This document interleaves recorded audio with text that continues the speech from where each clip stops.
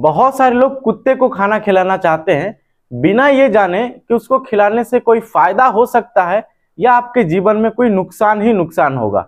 मैं आपको धर्म और साइंस के मुताबिक दोनों चीज़ें बतलाऊँगा। आप लोगों ने कई बार सुना होगा कि गाय को रोटी खिलाने से हमेशा पुण्य मिलता है, क्योंकि गाय में 33 कोटि देवी देवताओं का वास होता है और साथ ही साथ रोटी खिलाने से या उनके शरीर पे हाथ फैलाने से बहुत सारा फ़ायदा होता है। और बहुत बार ये देखा गया है कि कुत्ते को बहुत ही घृणित जीव की तरह देखा गया है। अगर गलती से कोई कुत्ता घर में चला जाए तो पूरे घर को लोग धोते हैं और घर को शुद्ध करवाते हैं। लेकिन दोस्तों, मैं आपको बतलाना चाहूँगा कि भगवान शिव जी का जो रौद्र रूप है, जिसको हम लोग भैरव भगवान के नाम से जानते हैं, उनका जो परम पूज्य सवारी है, वो डॉगी है, वो कुत्ता है। और आज के समय में आपको पता ही है कि कुत्ते को लोग कितना ज़्यादा प्यार करते हैं। और जैसा कि आपको पता है, भगवान भैरव जी का पूजा करने से बहुत सारे मनोकामनाओं का पूर्ति होता है। साथ ही साथ डर का भी नाश होता है और आपके घर में शत्रुओं का हमला नहीं होगा। धन का भी अगर कमी है तो उसमें भी बहुत ज़्यादा मदद होता है। दोस्तों, ये तो हुआ धार्मिक तरीके से क्या फ़ायदा होता है।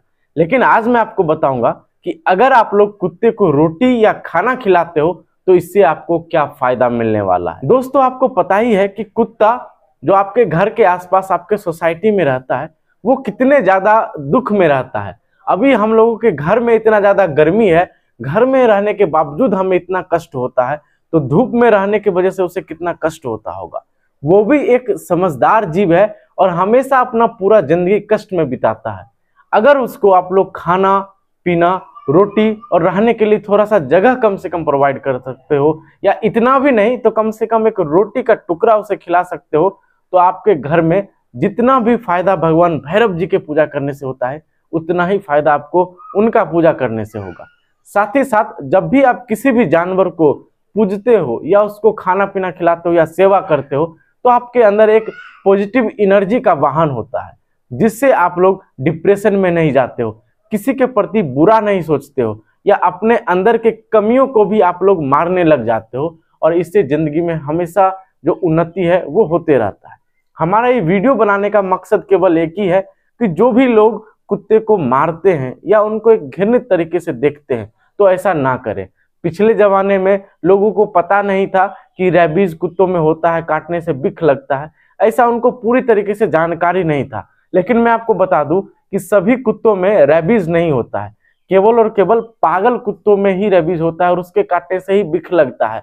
नहीं तो किसी भी कुत्ते को काटने से बिख नहीं लगता है। अगर कोई कुत्ता आपको काट लेता है तो सरकारी अस्पताल में जाए, चाहे आपका अपना है, चाहे वो पागल है या नहीं है, क्योंकि सरकारी अस्पताल में फ्री का एडवाइस और फ्री का वैक्सीन मिल जाता है। दोस्तों, ये वीडियो को आप लोग ज़्यादा से ज़्यादा शेयर करिए, ताकि जो लोग धार्मिक तरीके से या साइंस के तरीके से भी कुत्तों को मदद करना चाहे वो मदद कर सके। हमारे चैनल पे पशु पक्षी से संबंधित बहुत सारे वीडियो आते रहते हैं। आप चाहो तो इस चैनल को फॉलो कर सकते हो, ऐसा ही ऊपर फॉलो होगा। फॉलो करने का एक भी रुपया नहीं लगता है। दोस्तों, तब तक के लिए आप लोग अपना ख्याल रखिए। टेक केयर बाय बाय जय हिंद।